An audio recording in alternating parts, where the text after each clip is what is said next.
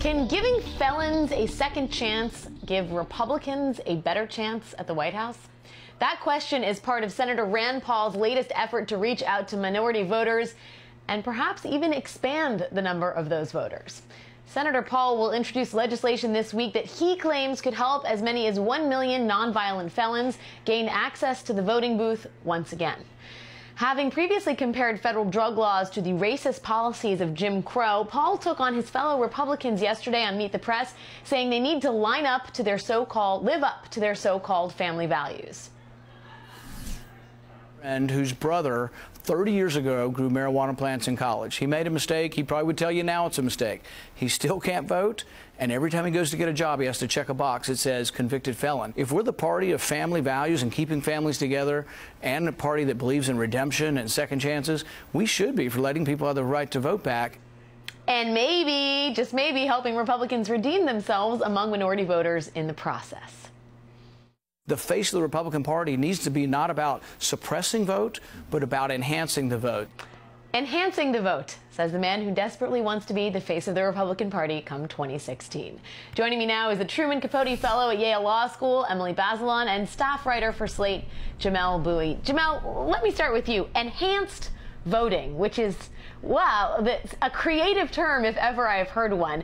My question to you is can Rand Paul get away with pushing more sort of equitable voting policy at the same time that the rest of his party is literally trying to disenfranchise hundreds of thousands, if not millions, of voters in this country? I think he can definitely do it, right? Like, there's nothing stopping him from making this appeal, and I hope he continues to make this appeal. I've written before about sort of the really terrible effect that felon disenfranchisement laws have on communities, on individuals, and I'm I'm glad to see Paul sort of take up this cause because it really is a disgrace that we have over you know close to six million Americans who can't vote because of prior convictions and felonies.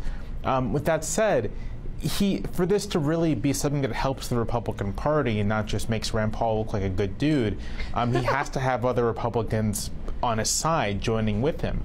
And while here and there there have been, I know in my home state of Virginia, uh, former Governor Bob McDonnell was sort of on, on the forefront of uh, helping felons get their voting rights back in the state.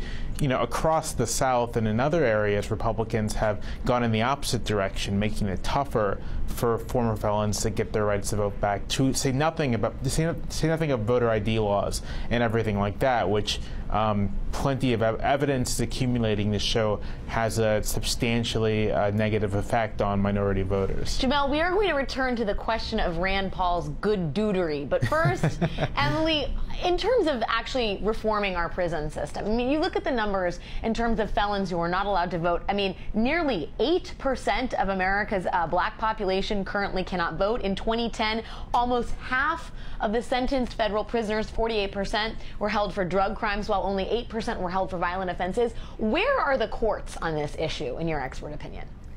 The courts are, I think, to a large degree waiting for Congress, um, waiting for Congress and the president to lift mandatory minimum sentences that keep people in prison for long periods, and waiting for other kinds of reforms that would really allow for a change in our mass incarceration policies. Jamelle, um, we're, we're, we're obviously flipping back and forth here between the politics and the court side, but to go back to the politics for a moment, um, when we talk about the Republican Party writ large, that we talk a lot about the intra-party warfare and the struggle with between various factions of the party. Rand Paul, as you point out, is, I think, forthrightly trying to ameliorate some of the bad parts of the party, or at least have a bigger, broader, more inclusive message. He's the guy that went to Howard University. He's trying to change the so-called face of the the Republican Party. But my question to you is, you know, does this get him and does does all I mean, every time he does one of these things, whether which is to say outreach to a black community or talking to black people in a way that is more substantive and direct perhaps than some of his other uh, party colleagues, it sometimes works for him and sometimes totally blows up in his face.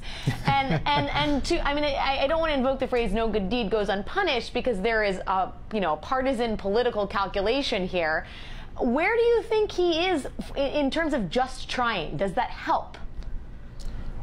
again, I think it helps for Rand Paul, and um, that's no small thing. I mean, if let's say Rand Paul in his reelection race um, I guess that would be in 2016, ends up, and he, let's say he's not the president of the United States. So he's running just for reelection and he ends up um, getting a larger portion of the black vote than he did before. That shows that there is a payoff to doing this, however small.